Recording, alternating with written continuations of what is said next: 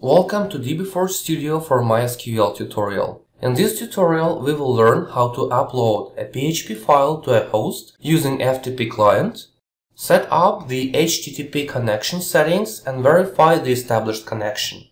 To create a connection with a MySQL server via HTTP tunnel, you need to upload the tunnel.php file, which is located in the Studio installation folder.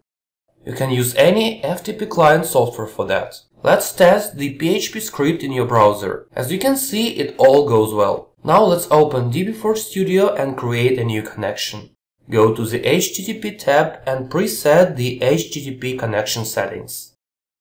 On the General tab, specify the connection settings for MySQL or MariaDB server. Now test the connection